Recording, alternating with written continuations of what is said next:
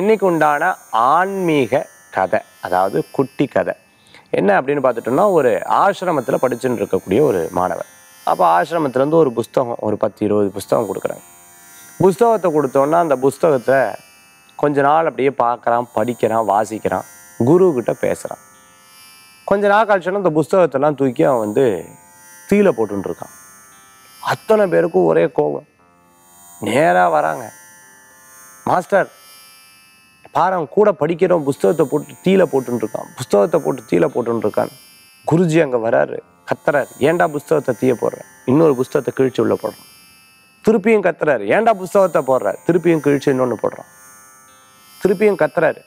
இனிமே புஸ்தகத்தை போட்டால் ரெண்டு அற விடுவேன் அப்படிங்கிறார். திருப்பியும் கிழிச்சு உள்ள போடுறான். ரெண்டு அடி அடிக்கிறார். திருப்பியும் கிழிச்சு உள்ள போடுறான். என்னடா அது இவன் ஒரு விரக்தி பிடிச்சவனா இருக்கான்? என்ன இப்படி ஆயிடுத்து?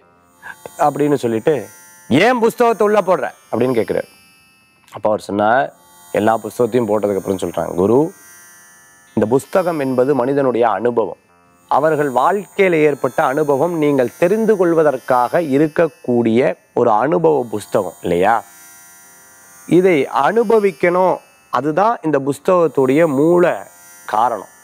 நான் அதை தான் உங்ககிட்ட பண்ணிட்டு இருக்கேனே.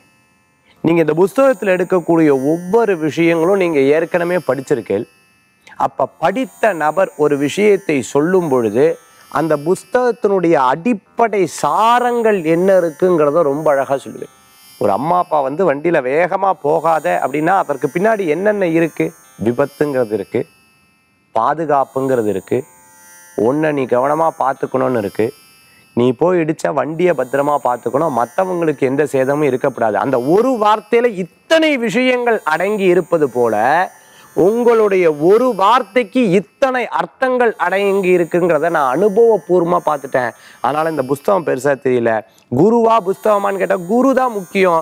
அதனால தான் புஸ்தகத்தை எடுத்து போட்டுட்டேன். நீங்கள் என்ன வார்த்தை சொல்கிறீங்களோ அதுக்கு பின்னாடி இருக்கிற வார்த்தைகளை பூரா நான் பார்த்துடுறேன் அப்படின்னு சொன்னோன்னா குருளுக்கு அப்படியே தண்ணி வந்துடுது கண்ணில். இது வரைக்கும் எத்தனையோ மாணாக்கள் நம்ம பார்த்துருக்கோம். இந்த அனுபவ மாணவனை இன்னைக்கு தான் நம்ம பார்க்குறோம்னு சொல்லி ரொம்ப அழகாக அவர்கிட்ட மன்னிப்பு கேட்ட குரு உன்னை அடிச்சிட்டேன் தெரியாமல் என்னுடைய வார்த்தை இவங்க அத்தனை பேருக்கும் உபயோககரமாக இருக்கணும்னு சொன்னார் அந்த மாதிரி நம்ம வாழ்க்கையில் படித்து தெரிஞ்சுக்கின்ற விஷயங்களை விட அனுபவம் வாழ்க்கைங்கிறது பெரிய ஒரு இது. ஒரு ஒரு ஒரு செயல் நடக்குதுன்னா அந்த செயலுக்கு பின்னாடி என்ன இருக்குதுன்னு நீங்கள் தெரிஞ்சுட்டீங்கன்னா போதும். அதனால தான் கண்ணால் பார்ப்பது போய் காதால் கேட்பது போய் தீர விசாரிப்பதே மெய்யின்னு சொல்கிறாங்க அப்போ அது என்னென்னு தெரிஞ்சுட்டுன்னா போதும். அதுக்கு எத்தனை அர்த்தங்கள் கூடி இருக்குன்னு சொல்லிட்டு சரி இன்னைக்கு உண்டான குட்டி ஸ்டோரி உங்களுக்கு ரொம்ப அனுபவம் தான் இருக்கும்.